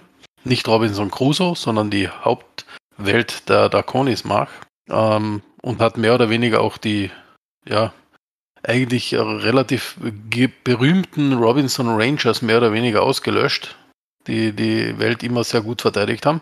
Die hatten ja vorher, vor diesem Einfall mehrere Regimenter sogar auf der Welt, ne? Und deswegen war die, also die war eigentlich sehr, sehr stark befestigt, diese Welt, ne? Mhm. Und Miyoro hat die mehr oder weniger in so, äh, Miyogi in äh, so eine Art, ich nenne es jetzt mal Blitzkrieg quasi verwickelt und komplett aufgerieben, weil die Robinson Rangers auch ein bisschen den Fehler gemacht hatten, so klassisch, ja, wir sind eh die überlegenen Starken, wir begegnen dem Gegner am offenen Feld, ne? Ähm, ja, und da waren halt die Kuritas in ihrem Element, sage ich mal, ne? Weil auf das waren sie natürlich voll hintrainiert. Genau dieser, wir gehen uns auf dem Feld gegenüber aufeinander zu und holzen es aus, ne? Das war so richtig, hat den Kurita Ja. quasi in die, Hande, in die Hände gespielt. Robinson ist dann auch noch, äh, ich sag mal so, verhältnismäßig lange äh, im, im Draconis-Kombinat verblieben. Ähm, weswegen da dann auch dementsprechend äh, die, die, die Erziehung und die Umerziehung der Bevölkerung stattgefunden hat. Ähm, große Schmach dann halt später für, fürs Haus Davion, äh, die halt das im Prinzip nicht so richtig akzeptieren wollen, dass, äh, dass es da halt auch schon mal wirklich eine, eine länger anwährende Okkupation durch Haus Kurita gab. Weil es ist nun mal halt eine, wie heißt das bei denen? Eine Markwelt, wie auch immer. Also so, ein- so eine, so eine, so, ja, so eine Distriktwelt für Haus Davion. Distrikthauptstadt quasi, ne? also Distrikthauptwelt. Ja, und dazu kam ja auch noch, dass gerade im, in dieser Zeit, so, also wo sie das eingenommen haben, ähm, auch die Kommunikation immer schwieriger wurde, weil im Prinzip Comstar dann wirklich komplett das Monopol schon übernommen hatte und auch die einzigen waren, die noch wussten, wie man das HPG-Netz benutzt. Ja? Also alle Nachfolgestaaten hatten das verlernt und hatten keine Ahnung, wie das funktioniert. Ne? Und damit wurde alles quasi an, auch an Militär, äh, Intelligence und so weiter über, über Comstar geroutet und damit war es natürlich ja, sehr leicht auch für Comstar da für ein bisschen einen Status Quo wieder zu sorgen. Ne? Mhm. Gleichzeitig, wie ging es im, äh, im Haus Kurita äh, in, in, den, in den konsolidierten Welten äh, so los? Ähm, das ist, es wurde eine, eine neue, ja, eine neue Polizei gegründet, das zivile Führungskorps, dein Freund und Helfer. Mhm. der dich vermöbelt, wenn du was Falsches sagst. Ähm, aber das war halt äh, aus, der, aus der Erfahrung heraus, dass, äh, dass halt die Bevölkerung äh, nicht unbedingt durch das Militär geführt werden möchte, hat man da halt eine Institution äh, geschaffen, äh, wo, der, wo der normale Bürger mehr Vertrauen zu hat, weil er kein Militär ist, weil er halt Polizist ist, äh, der aber trotzdem halt dementsprechend äh, eine gewisse Au Autorität ausstra ausstrahlt, dass man ihn nicht ignorieren kann. Ähm, ja, das mal so am Rande. Ja, und Miyogi wusste natürlich auch, wie dem Chinchiro passiert ist mit seiner Schwester Rowena, ne? Mhm. und wollte diesen Fehler nicht auch machen. Und äh, als er da quasi so Robinson und so ein bisschen konsolidiert hatte, hat er sich seiner Schwester zugewandt und hat dem ISF gesagt, na Freunde, ihr seid wieder quasi der ISF so wie früher, ja, aber nur, wenn ihr das mit meiner Schwester regelt, ja, mit der lieben Rowena. Das hat quasi fast so intern im ISF so eine Art äh, Bürgerkrieg im ISF ausgelöst, gelöst, ne? Mhm. Ähm, und äh, die äh, äh, PAE hatte zu der Zeit schon so ein bisschen eigene Truppen auch und so weiter hervorgebracht. Ne? Und äh, Rowena wollte da auch so offensiv schon ein bisschen gegen ihren Bruder hervorgehen. Ähm, aber Taragi Kurita hat dann so eine richtig beherzte Rede quasi vor dem High Command der DCMS gehalten ja, und gesagt, nee, passt auf, Freunde, Miyogi ist der Mann, ja, den müssen wir unterstützen. Und Miyogi hat mehr oder weniger alles, was an PAE war, einfach mal ausgelöscht und Mhm. damit seine Macht konsolidiert. Im Dieser, dieser, äh, diese, dieser Loyalitätskonflikt innerhalb der ISF äh, ähm, war so interessant, dass, äh, dass die Agenten äh, gegenseitig Agenten gekillt haben. Weil man konnte sich ja nicht sicher sein, wer jetzt äh, wessen Loyalität äh, gilt. genau. ja. Ähm, war wohl eine sehr interessante Zeit für, für jemanden, der, im, äh, der in diesem äh, Regierungsorgan gearbeitet hat. Weil man konnte nie wissen, ob man jetzt wirklich noch zur nächsten Besprechung oder zum nächsten Meeting kommt. Ja, Ja, eine sehr Zeit, spannend. in der man unbedingt äh, gelebt haben will. Genau. Genau. Er- er- Erinnert mich so an, so an, die, an die stalinistische Zeit, ne? Der, der, ich weiß gerade nicht, wie dieser Film heißt. Äh, so nach dem Zweiten Weltkrieg handelt der. Der ist so eine bitterböse, dunkle Komödie äh, mit Genosse Stalin. Und da bringen die sich auch alle gegenseitig regelmäßig um. Mhm. Habt ihr Cyberpunk gespielt? Ähm, Ja. Ganz am Anfang, wenn man die Konzernlinie spielt, äh, da hört sich das genauso an. Wobei ist ja auch ein japanischer Konzern. Genau, also leicht japanisch-faschistoider Ach, das Konzern. ja. Ja. Doch gewisse Parallelen. Aber okay, also äh, der Koordinator stirbt, oder? Der stirbt doch immer. Selbstmord. Ja, aber noch nicht. Halt, zuerst geht der dritte Nachfolgekrieg los. Genau. Und das Gute im dritten Nachfolgekrieg, ich meine, das Gute, ich meine, die hat, jetzt hatten sie sich schon quasi komplett äh, zurückgebombt in der Zeit. Ne? Also wie Ona schon sagte, die letzten Kriegsschiffe, also Kriegssprungschiffe sind vernichtet und so weiter. Ne? Ähm, woraufhin im dritten Nachfolgekrieg alle Mächte so informal zur Ares-Konvention zurückge äh, äh, zurückgekehrt sind. Mhm. Es hat sich dann irgendwann mal herausgestellt, dass es keine gute Idee ist, wenn man, wenn man sich wirklich alle Ressourcen unterm Arsch wegschießt. Genau, komisch aber auch, ne? Ja, das äh, war wahrscheinlich der äh, Nachrichtendienst. Der kriegt alles raus. Ja, und ohne, wenn man einen dritten Krieg anfängt, gegen wen ste steigt man mal ein? Selbstverständlich. Wenn man gerade am Ausholen ist, dann immer erst gegen die Blechfaust. So sieht's aus. Es, äh, Und zwar äh, eine, eine, eine kleine Welt, in die auch viel Aufmerksamkeit auf sich gezogen hat, und zwar Sky. Sky hat auch, äh, äh, hat interessanterweise auch eine relativ re revoltierende Zivilbevölkerung, die, wenn die äh, Mythen und Legenden zufolge schon, ja. Ähm, äh, das heißt also, das reguläre Militär hat sich okayisch geschlagen, äh, aber der Drache musste feststellen, dass auch diese Bevölkerung relativ renitent ist äh, gegen Überzeugungsversuche, ähm, was dazu geführt hat, dass, äh, dass man äh, sich von dieser Welt auch wieder relativ schnell zurückgezogen hat, weil das einfach zu viele Ressourcen gefressen hat. Hm. Sehr gut. Sollen sie halt ihren Whisky saufen. Schlimmeres. Aber sie haben doch bestimmt auch noch äh, unsere Lieblingsproduktionswelt angegriffen, oder? Ja, zwischendurch, also da, dafür waren immer mal drei, vier Mechs da, die, die da mal geguckt haben, ob die, die Delle in, im, im Haupteingangstor, ob die die schon zugeschweißt haben. Ah, okay. Und dann haben sie natürlich auch die, die Davions wieder angegriffen, ist auch klar, ne? Klar, man ist ja gerade im Schwung. Genau. Außerdem hat man so einen Sohn, der auch ein bisschen was tun will und Miyogi hat auch einen Sohn, nämlich Jon, und den hat er dann mal ins Feld geführt. Genau, im, im Hintergrund äh, muss man sagen, immer wieder äh, Rowena Kurita, die das Ganze, äh, die das Ganze noch quasi bis zum Schluss äh, gemanagt hat. Die hat immer noch versucht, äh, ja, ihre Interessen durchzusetzen. Äh, Taragi Kurita hat sie, hat sie dann, äh, dann doch noch überlebt, muss man sagen. Ähm, der hat sie dann, äh, äh, der hat das äh, dann weitergegeben an Shinjiro Kurita. Ähm, aber ich glaube, die, die ganzen Namen, die äh, kann sich dann sowieso kein Schwein mehr merken. Aber es ist so, so man merkt, es, man hat, man hat mit, mit Ro- Rowena Kurita hat man den, den letzten, ich sag mal so, im Schatten agierenden, ja, Kurita verloren, der, der über mehrere Generationen hinweg ähm, ihren Einfluss halt versucht hat. Manchmal gut, manchmal schlecht durchzusetzen. Ich Genau. glaube, äh, mit den Namen ist es relativ einfach. Man muss sich nur Kurita merken und das reicht ja dann. Genau. Genau. Ja, also Daragi hat dann im Prinzip ja auch die Seite ein bisschen gewechselt zu Rowena, ne? Mhm. Weil ihm diese Beförderung von Jon zum Feldkommandanten quasi überhaupt nicht gefallen hat, ne? So, weil er hatte eigentlich die Davions zurückgedrängt und jetzt will der den, seinen Ruhm absahnen. Und deswegen hat Daragi im Prinzip dafür gesorgt, dass die föderierten Sonnen Robinson zurückgewinnen konnten. Mhm. Also im Hintergrund die, die Fäden gezogen. Äh, wie hat er das gemacht? Äh, Kopf an links, da ist gerade keiner. Ja, ein bisschen, bisschen so der Plan-Leaks und Truppenmovements und so weiter übers HPG-Netz, ne? Also geht das ja leicht über Comstar, ne? So ein bisschen rumherum, ne? Und dann schon geht das, ne? Und Da habe äh, ich was liegen lassen. genau. Genau. Und das hat natürlich, im Prinzip hat Miyogi ihn als verlängerter Arm von Jon, weil er war im Prinzip sein Vater, ne? Oder im Prinzip er war sein Vater, Ja.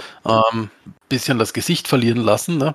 Ähm, und ähm, Miyogi wollte dann quasi so Gericht halten auf Robinson äh, oder, oder ähm, auf einer benachbarten Welt, weil, weil wer da jetzt schuld ist und so, ne?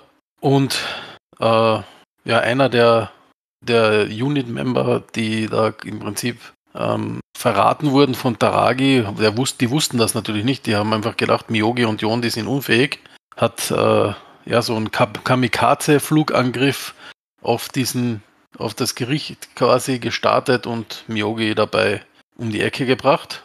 Mhm.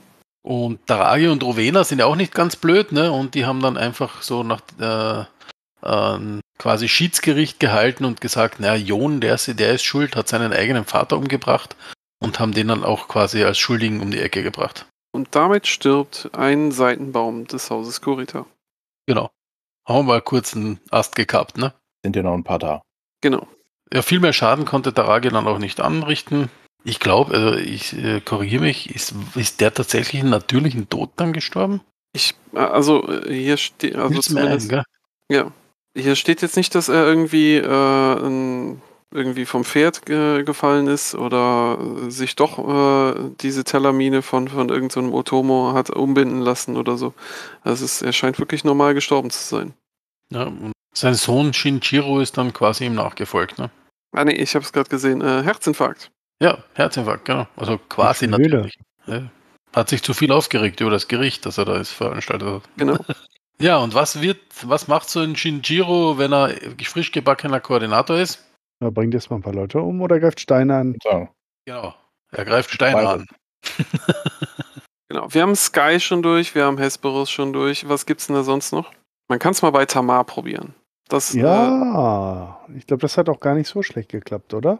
Hm, ja, ja, ja. Also ähm, es, es gab Erfolge, ähm, das muss man sagen. Äh, blöderweise hatte Haus Steiner an der Stelle ein paar ziemlich gute Regimenter stationiert. Äh, also äh, von Kurita-Seite wurden die äh, Second Sword of Light, äh, 20th Dyron Regulars huh, äh, und die vierten Proserpina Husaren äh, ins Feld geschmissen. Äh, auf der anderen Seite standen allerdings äh, die Stealthy Tigers und die Eredani Light Horse. Die Stealthy Tigers, Mhm. Mhm. echt? Die gab es damals schon. Ja, äh, eigentlich ja eine Privatarmee, muss man Genau. sagen. Aha. Und die Eridiani Leitboni sind ja auch quasi ein äh, Söldnerregiment. Genau. Und die hatten seit dieser Sache mit, mit der mit dem äh, Amaris-Revolte noch so eine halbe Perlhohlenfarm mit, äh, mit Haus Kurita zu rupfen und deswegen äh, war das nicht so nett, wie die sich da gegenseitig bekriegt Genau. haben. Denn wer in unserem äh, Exodus-Podcast aufgepasst hat, der weiß, dass die Eridiani Leitboni wo hervorgegangen sind. Ja, natürlich aus einer Sternbundeinheit. Genau, aus dem zweiten Großregiment der SLDF. Und damit waren sie relativ gut ausgerüstet und relativ gut trainiert. Großes Ding. Ja, Relativ schlecht gelaunt. Genau. Das ist scheiß Kombination. ja, deswegen, das hat da mal schwer gefunkt und äh, dann hat man Tamar dann auch wieder in Ruhe gelassen. Gut, Okay, dann greift er jetzt bestimmt äh, Davion an. Ist jetzt Davion oder Davy? Noch Das ist, David. ein, das, das, das, das, das ist eine schwer diskutierte Frage. Die haben sogar meine Stickball danach gefragt. Und im Prinzip ist beides zulässig. Oh, okay. Aber würde ich sagen, Davion klingt doch schöner. oui, très bien. Okay. So, Also Ja, er greift nach Davion Retour an. Ähm, okay, ähm, ja, ähm, es ist wieder äh, an, an der Zeit gewesen, äh, dass, dass man sich dann halt in, in, in wilde, äh, unter äh, Shinjiro Kurita in wilde Zwei-Fronten-Kriege ähm, verstrickt hatte. Weil äh, an der Davion-Grenze hat es natürlich dann auch schwer, äh, schwer gezundert. Zwei-Frontenkriege sind nie eine gute Idee gewesen. Ich glaube, es gibt kein Beispiel in der Geschichte, wo Zwei-Frontenkriege irgendwann mal wirklich hundertprozentig geklappt haben. In the long term. Bitte korrigiert mich, wenn ich da falsch bin. Ja, Ähm, es klagt immer für die, die außen sind, nicht die, die innen sind. ja, genau. Ja. Gut, ähm, ja, Ah, doch, doch, doch, doch, doch, doch. Hier, Preußenkönig, Friedrich II. Gegen alle Erwartungen, gegen Frankreich, Österreich, Russland.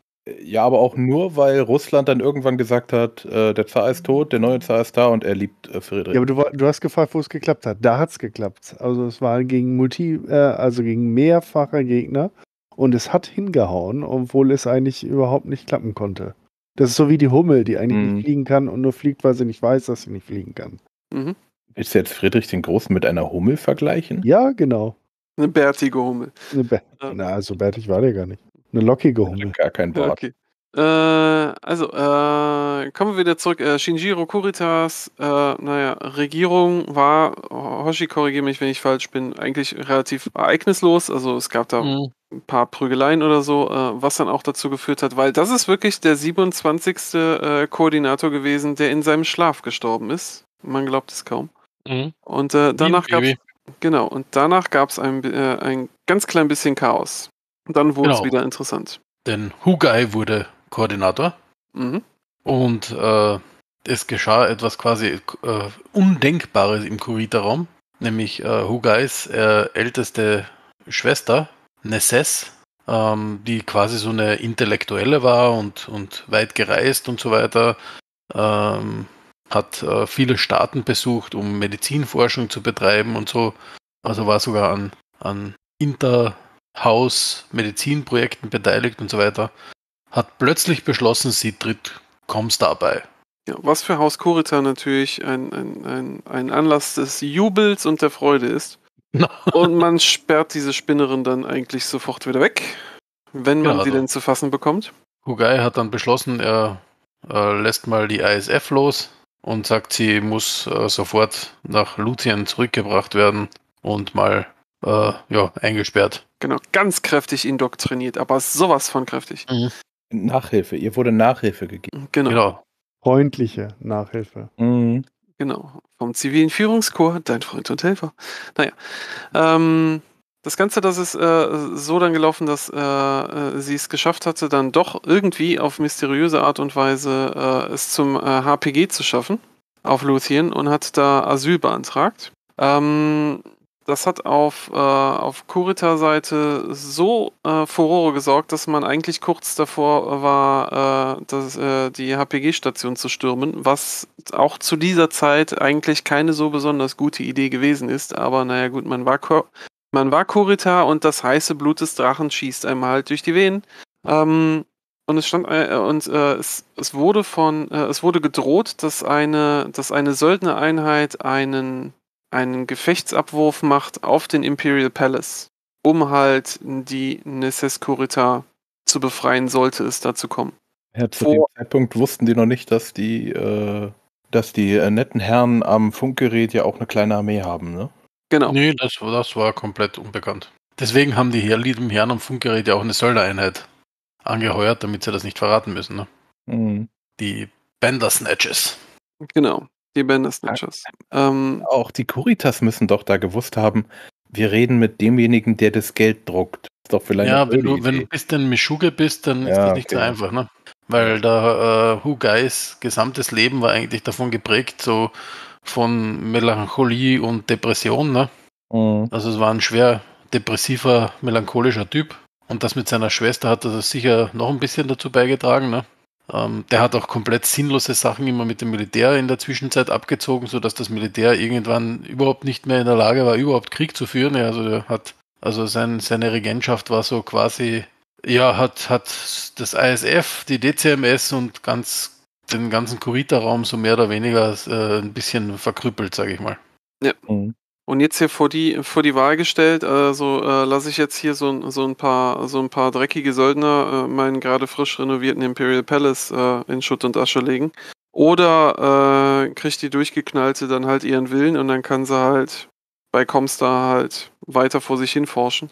Ist dann halt in der Weisheit des Drachen Huagai Kurita, hat er dann gesagt, selbstverständlich, ist eine super Idee. Ihr dürft sie haben. Vielen Dank. Auf Wiedersehen. Ähm, ja, aber das hat natürlich auch wieder an seinem Image gekratzt. Genau. Und dann ist er irgendwann auch gestorben. Also die Kuritas sterben hier wie die Fliegen, merkt er. Ja.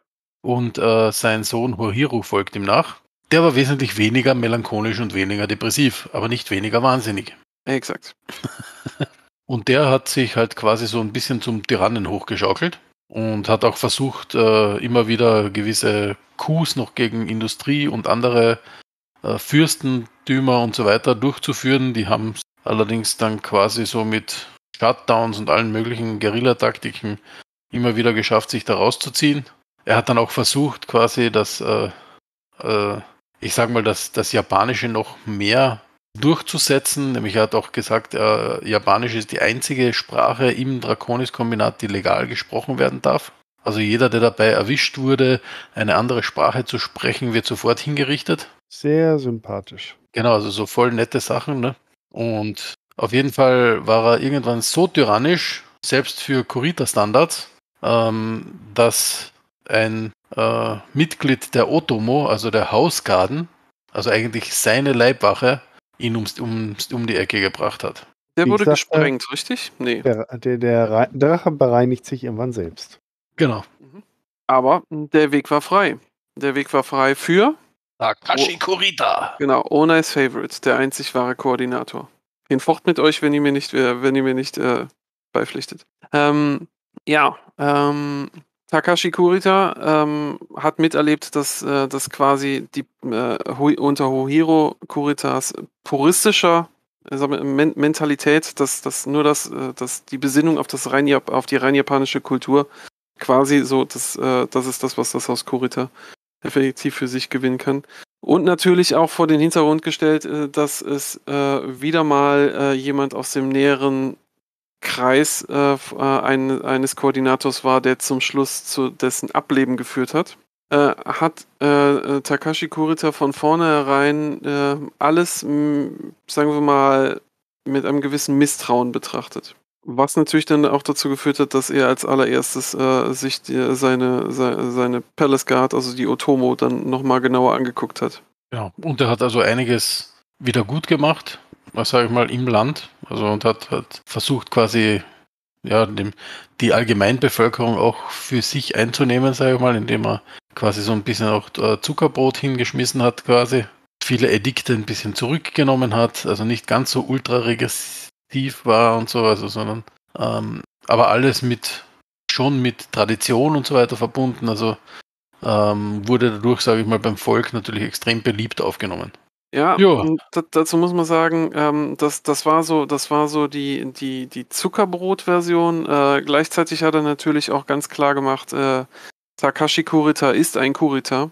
Das heißt also, Leute, die vehement gegen, gegen ihn und seine und, und seine Ideologie aufgebahrt haben, Politiker, wie auch immer, die hat er dann halt auch erschießen lassen. Ne? Genau. Also, Er hat dann auch möchte da- seinen, seinen Tisch gemacht, ne, weil er war nach wie vor natürlich ein Korrider. genau. Alles richtig gemacht. Alles richtig gemacht. Alles richtig. Ja, und dann Gut. kam, kam was für Takashi Kurita, was ihm überhaupt nicht in den Kram gepasst hat.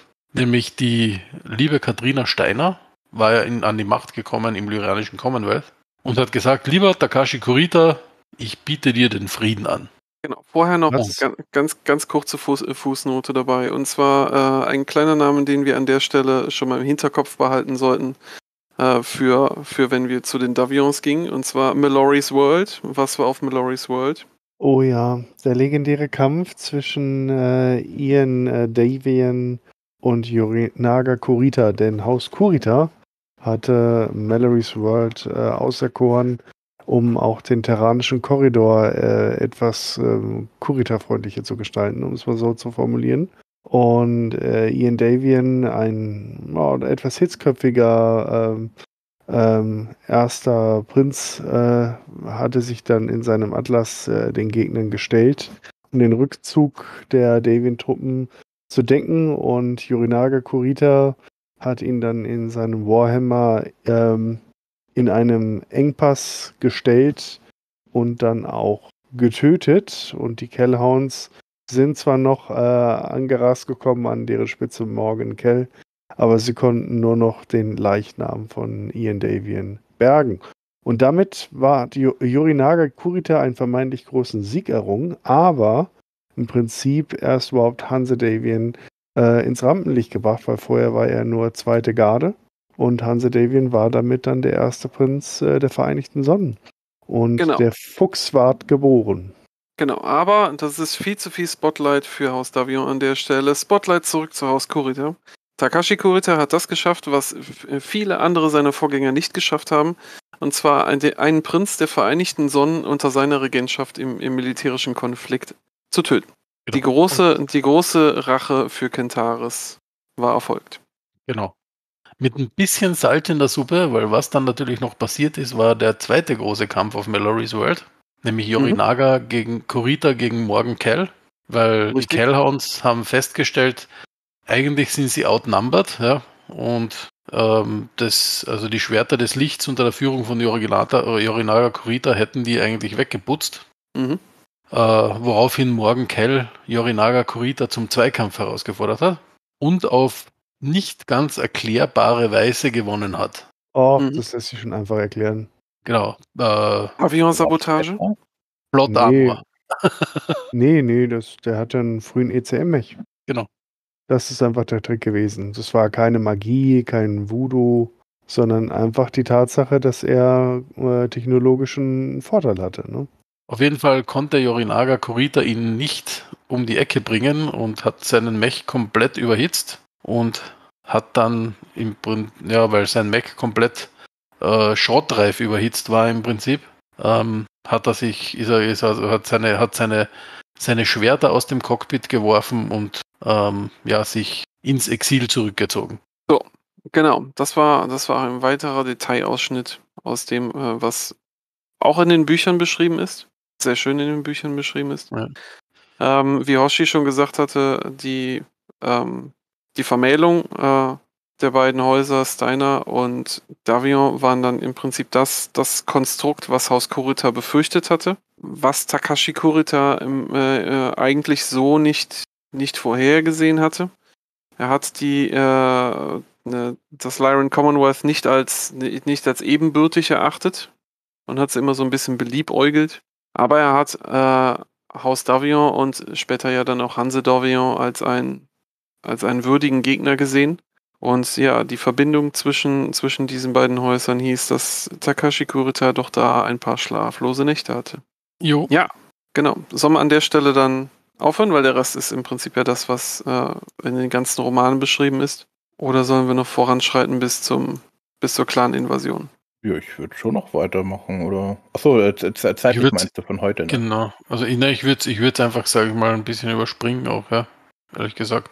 Weil dann das, den nächsten Events haben wir, sind wir ja sehr genau in unserem, in unserer Timeline durchgegangen. Mhm. Also die ganze, ganze Geschichte mit Takashi Kurita, äh, dritten Nachfolgekrieg, Haus Der Ronin- Davion, Wobei, der ich, Ronin-Krieg.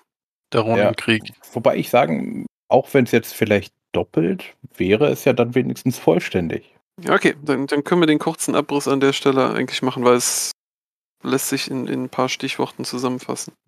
Genau. Du hast den Ronin-Krieg, äh, äh, ich sag mal so, so, so, so ein bisschen forciert durch Marcus Kurita. Ähm, das heißt also, es, äh, die, die, äh, die Freie Republik Rasalhag ist gegründet äh, worden aus, den, äh, aus dem, was vorher der Distrikt Rasalhag war. Das heißt, die Rasalhager haben wieder aufgebahrt und diesmal mit der Unterstützung von, von Haus Steiner ähm, haben sie halt so eine so einen Einfluss gehabt, dass sie sich als, als eigener Staat dann halt auch ausgerufen haben. Ähm, das waren halt im Prinzip die, die Ereignisse, die den Ronin-Krieg kurz zusammenfassen. Äh, vierter Nachfolgekrieg ist, äh, ist etwas, was ja an allen Fronten gekämpft worden ist. Wir haben, äh, wir haben viele Ereignisse, die, äh, die auch äh, sich um, detailliert um, um diverse Welten Prüge, äh, Welten kümmern, aber man muss einfach mal so sagen, es ist, es hat sich dann halt wenig getan. Also es kamen viele Scharmützel, es ist immer mal wieder ein paar Lichtjahre halt in, in, in irgendein Territorium einge, äh, eingedrungen worden. Der Lioness-Tam zum Beispiel, der dadurch entstanden ist. Eine kleine ein Einwölbung, dann halt, äh, äh, die halt so ein bisschen äh, Also geschaffen die, die, worden ist. die Kuritas hätten sicher viel mehr gemacht, aber äh, Takashi Kurita hat den, Gefe den Fehler gemacht, sich die Wolfsdragoner zum Feind zu machen. Genau. Und die haben äh, quasi dann einen Privatkrieg gegen äh, gegen das Draconis-Kombinat auch geführt an einer Front. Und im Prinzip mit zwei Fronten war er plötzlich in einem Drei-Fronten-Krieg. Ja. Und das hat es natürlich dem Draconis-Kombinat umso schwerer gemacht, hier noch irgendwie Fuß zu fassen. Ne? Also es fehlte der Fokus an der Stelle. Es ist viel los gewesen, aber es ist halt so dieses Main Goal. Wie 150 Jahre vorher, ne, das ist, äh, wir bremsen erst, wenn wir, wenn wir bei New Avalon angekommen sind. Das hat halt gefehlt. Mhm. Mag auch damit zusammenhängen, dass halt die militärischen Mittel halt einfach nicht mehr da waren. Das ist, wie Hoshi ja schon gesagt hatte, die, die Verteidigung von manchen Welten, das waren dann halt, halt nicht mehr drei Regimenter, sondern halt eine Mech-Kompanie und so ein paar Panzer, die noch, äh, die noch im Hof stehen.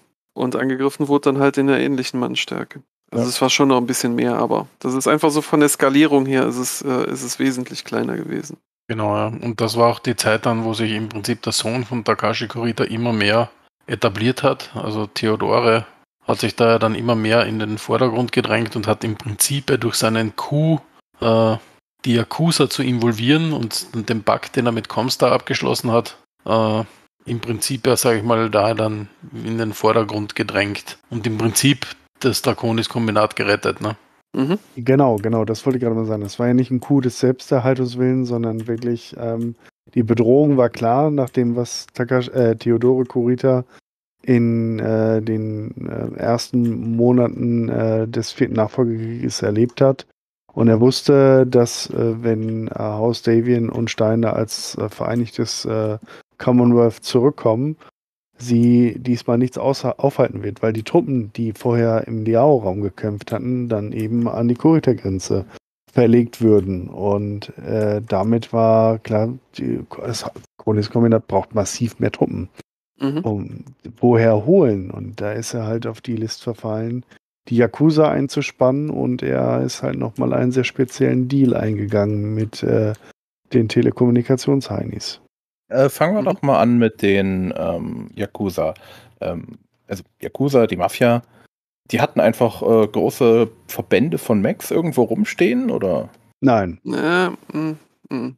Also es, die hatten sicher welche, aber nicht in dieser, in dieser, in dieser Menge. genau. Mhm. Aber, Aber was sie hatten das Menschenmaterial. Genau. Extrem viel gut ausgebildete, sehr hörige äh, Leute. Also militärisch Fanatisch. gut ausgebildet und fanatische Kämpfer auf ihrer Seite. Und aus diesen Reihen hat er im Prinzip die Ghost, also die Geisterregimenter gebildet. Äh, Theodore hat ihnen quasi Battlemechs zur Verfügung gestellt, etc. Ne? Mhm. Ähm, und die haben absolut, also die, die waren Theodore absolut bis aufs Blut hörig. Also das, Mhm. die waren im, also über ihre Yakuza, äh, wie heißen, heißen die Gummis, ja, Mhm. ähm, komplett hörig dem, jetzt, äh, nicht Koordinator, sondern wie hat er sich genannt? Gunji no Ah. Kanrai. Genau, Gunjino Kanrai. Er hat sich nicht sogar, das war sein Amt. Das war Genau. sein, ne? Das ist, er, Also- er hat ja auch dieses Underdog-Image, das hat er ja gepflegt. Ne? Das Genau, ist, ja. er, er, er war bei den äh, äh, Legion of Vega. Er wurde dorthin strafversetzt von seinem Vater. Genau, er wurde dahin strafversetzt, äh, äh, aber man muss sagen, dass die, diese Versetzung war im Prinzip der Grundstein von dem, was ihm später die, die Popularität gesichert hatte. Und zwar ist es nicht jemand gewesen, der aus der Aristokratie von oben herab, ne, aus den, äh, in den Sword of Light halt aufgewachsen ist, von da oben dann halt geherrscht und regiert hatte, sondern er hat, er hat das von, von unten gelernt. Und da hat er halt auch erstens seine Connections und zweitens auch die Sympathie äh, dann halt mitgenommen. Genau, vor allem er hat im Prinzip den Rasa-Lagern auch ihre Freiheit garantiert, wenn sie sich um die Lyrianer kümmern. Also das war also ein bisschen gebrokert, ne? Mhm. von Comstar. Also Comstar hatte da ganz tief seine, seine Finger drinnen. Comstar hat auch Mechs geliefert, Ja, Weil die wollten- massiv. ja, sehr massiv, äh, um eben die Yakuza auszustatten. Ähm, haben natürlich geschaut, dass die keine, ich nenne es jetzt mal Comstar SLDF-Mechs bekommen, sondern äh, im Prinzip das Zeug, das Comstar eigentlich wegschmeißt, aber Naja, da, downgraded. Es waren noch Mechs Genau. dabei, die waren mit, mit Absicht halt äh, herunter. Äh, genau, down, genau downgegradet, ja, also Doppelwärmetauscher raus, normale rein und so weiter. Ne? Genau. Und die haben sie also in, in Massen geliefert, äh, um eben auch, weil die Mündo Waterloo war natürlich darauf aus, den Status quo beizubehalten. Also die, der war das überhaupt nicht recht, dass die Vereinigten Sonnen sich da mit den Steiners zusammentun, ja, und, und, und sie Gefahr läuft, dass Koms dann nicht die größten auf der, äh, im Universum sind, ne? Mhm. Mhm.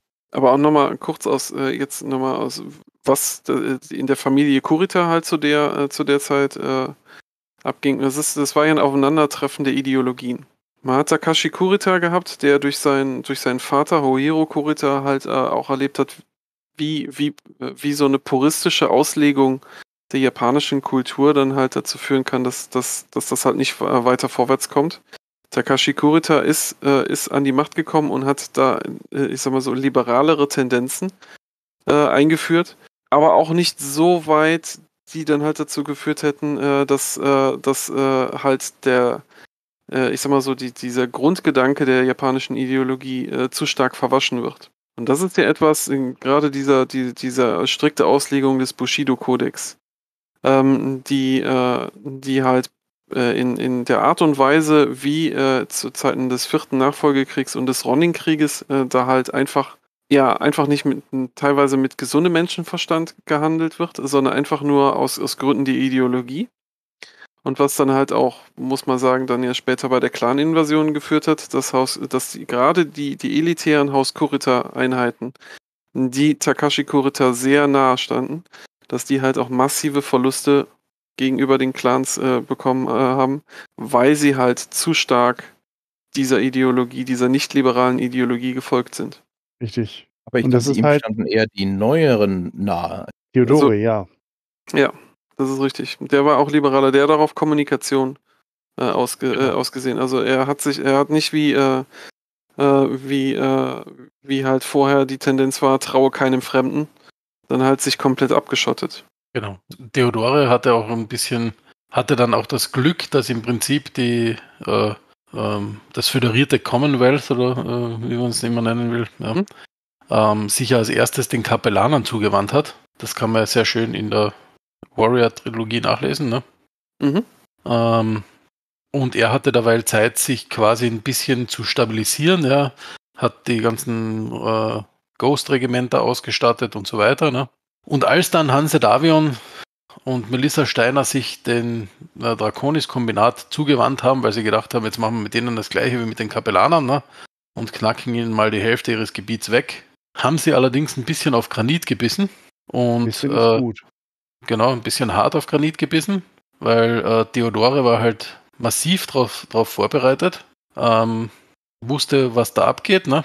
Und hat im Prinzip ganz, ganz hart zurückgeschlagen in einem so, wie, wie soll man sagen, Jump-Krieg, nämlich er hat einfach einen Gegenangriff gestartet und ist über die Linien, die Hanse Davion äh, gemacht hat, einfach drüber gesprungen und hat Welten dahinter angegriffen, sodass Davion sich wieder zurückziehen musste. Und äh, irgendwann, das war dann glaube ich 30, 40, 30, 39, 30, 40, irgend sowas, ähm, hat dann Hanse Davion gesagt, naja, lassen wir das lieber. Also und War das nicht so, dass die äh, Theodore auch Informat also Intel von, ähm, von unseren Kommunikationsdienstleistern bekommen hat? Ja, ja, das war da alles dabei. Also der hat, hatte Mhm. natürlich ein bisschen äh, gute Intelligence, sage ich mal, und so weiter. Ne? Ähm, und hat aber auch seinen Vater gut aussehen lassen dabei, weil ähm, Theodore war schon darauf aus, dass, also Takashi Kurita, er hat zwar im Konflikt mit ihm gelegen, ja, ähm, aber er wollte jetzt nicht, dass der quasi so als, als Irrer dargestellt wird wie sein Vater, also wie Hohiro Kurita. Ähm, hat dann auch äh, von Constance Kurita, die ja die Anführerin der Five Pillars, also und die äh, Halterin der Ehre des Hauses war, ne?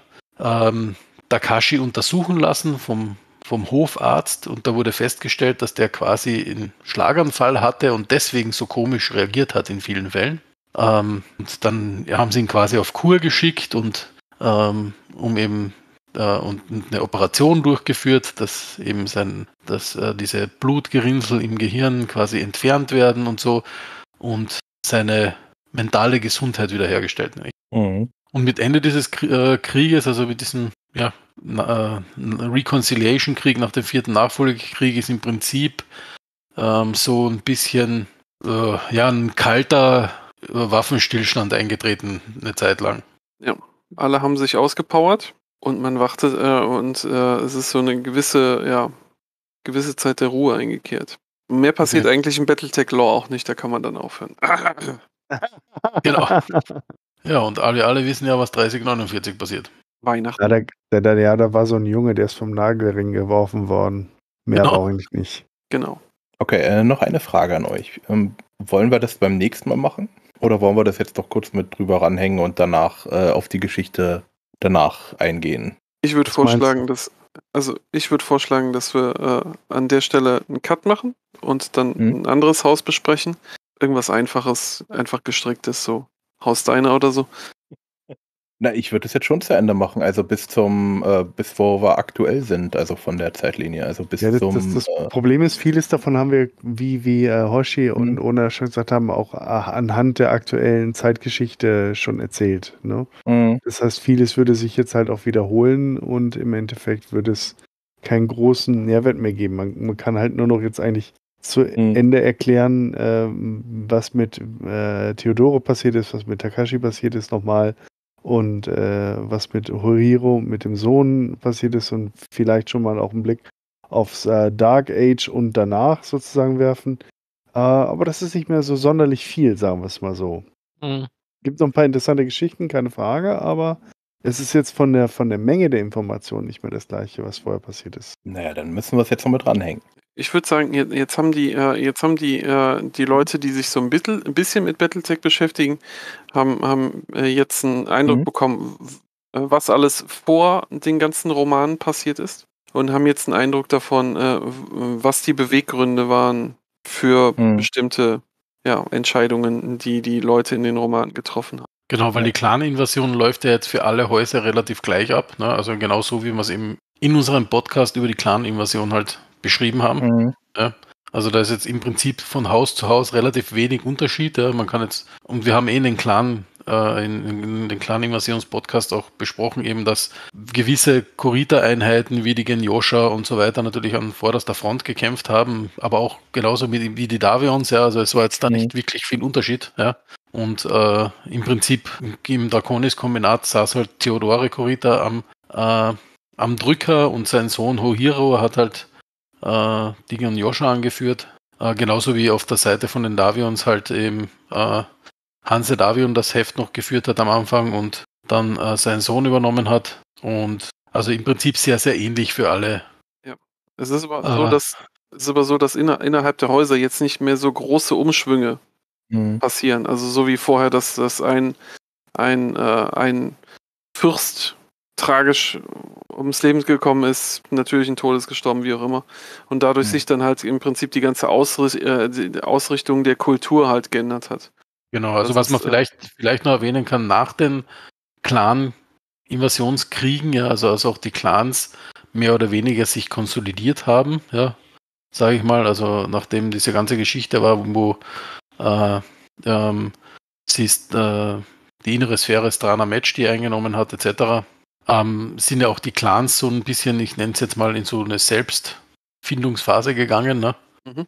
Ähm, und da kann man vielleicht noch sagen, dass äh, im Prinzip das Draconis-Kombinat ähm, sich sehr stark mit dem Clan Novacat, also den Novakatzen, äh, ähm, zusammengetan hat im Prinzip, ja. Und Mhm. denen sogar, ich nenne es jetzt mal Zuflucht gewährt hat. Ne? Ja. Ähm, ja, und dass das halt ein bisschen auch so äh, ja, Einfluss genommen hat auf die ganze innere Sphäre, wie das dann weiter abgelaufen ist, eben mit der Neugründung der Sternenliga und so weiter, also Genau, was da dann das- alles passiert ist. Und dass auch ein Mitglied Hauses, äh, vom Haus Kurita den Eidmeister oder wie er wieder heißt, Genau, äh, ja, da bei, äh, bei Clan Novacat äh, gestellt hat. so ist es, ja. Mhm. Okay. Dann hört euch den Nachfolgepod äh, den äh, Nachfolgepodcast, den äh, Clan-Invasions-Podcast an. Äh, Genau, also das würde ich, äh, genau. Also, danach. wie gesagt, äh, das ist relativ straight für alle Häuser relativ gleich, ja. mhm. Also jedes Haus geht dann auch so ein bisschen im Bund mit irgendeinem Clan ein, so ein bisschen, aber bis auf die Kapellaner, glaube ich. Aber gut, die Kapellaner mag eh keiner, dabei mag ich Baking-Ente so gern, aber gut. Ähm, ja, also ist halt so, ja. Ähm, Ja. Also ich, ich glaube, die Geisterbären sind die, die sich ein bisschen im, in den föderierten Sonnen niederlassen und so. Also es, es ist so ein bisschen, ähm, geht halt alles so ein bisschen, bisschen rum. Mhm. Ähm, und das geht halt dann so durch bis zum, bis zum Dschihad, ne? Mhm. Ja, beim Dschihad werden alle, äh, wird wieder rumgebombt. Ja, beim Dschihad, den haben wir dann eh, sage ich mal, extra auch besprochen. Mhm. Ähm, da wird's, da wird's dann eh, sage ich mal, ja, komplett, viele Sachen komplett hinfällig wieder, ne? Mhm. Ein bisschen wirr. Ja, ein bisschen Ja. wieder. Ja, da werden zu viele Sachen maximal umgekrempelt. genau. ja. Okay. Dann würde ich sagen, wir äh, lassen euch äh, für heute äh, mit dem Hause Kurita in Ruhe. Falls ihr jetzt sagt, nein, ihr wollt das alles nochmal genau hören, ähm, meldet uns, äh, meldet euch bei uns. Dann äh, schauen wir mal, ob wir da nochmal irgendwie was extra mal extra Folge machen wollen. So ein Kurzüberblick nochmal äh, in, de in den Zeiten, die noch kommen. Und ansonsten habt ihr noch irgendwas vergessen? Möchtet ihr noch irgendwas loswerden? Unai hat euch alle lieb, Auch schön. bis Okay, auf die ja, Leute dann. auf der folgenden Liste. Ne, vergiss. Äh, die, die äh, Liste kommt dann äh, in die Shownotes. Genau. Nein, was, was ich grundsätzlich nochmal zu, zu Haus Kurita sagen möchte, ist, Haus Kurita wurde ja in den Anfangstagen von Battletech als der große Buhmann aufgebaut. Es war quasi, was die Nazis in Hollywood waren, äh, das waren, äh, war Haus Kurita in der frühen Zeit äh, hier. Und ich finde es halt spannend, wie sich das geändert hat über, über die Zeit. Äh, vor allem mit der Einführung von Theodore, dass man da eine, eine bessere Balance gefunden hat und das nicht ganz, äh, das Ganze nicht so eindimensional geschaffen. Und dasselbe Mhm. ist auch bei den Liaos dann ein bisschen später passiert mit Sun Tzu, dass man das da auch ein bisschen relativiert hat. Und das hat der, die Vielfältigkeit des Universums auf jeden Fall bereichert. ne? Naja, gut, Äh. aber auch nur für Leao-Verhältnisse. Ja, aber ich sag mal, vorher waren sie einfach nur wahnsinnige Mörder, ne? Und dann waren sie wahnsinnige Mörder mit einem durchaus äh, validen Plan, ne? Das ist schon ein Mhm. Unterschied, ne? Wahnsinnige Mörder mit einem Blumenstrauß. Genau. Und einem verdammt guten Plan. Mhm. Okay, gut. Dann, ich danke euch äh, für die Zeit, die Expertise. Äh, euch da draußen. Wir danken euch für eure Aufmerksamkeit. Frage, Wünsche, Anregungen könnt ihr euch, äh, könnt ihr uns gerne weiterhin zukommen lassen. Wir freuen uns auch für jede Mail, die kommt oder äh, Kommentar. Wir lesen die alle fleißig, auch wenn wir nicht immer gleich antworten. Wir haben auch noch ein paar, äh, wir haben auch einen Vorschlag bekommen mit einem Gast, mit dem wir uns mal zu, äh, in Verbindung setzen sollen. Mal gucken, ob er Zeit und Lust hat. Und dann wünsche ich euch noch einen schönen Tag, schönen Morgen, schönen Abend und bis zum nächsten Mal. Ciao. Ciao. Euer Suminasai. Inspection successful. Well, everybody, this podcast has been terminated. But rest assured, the Battletech podcast will be back. Shutting down.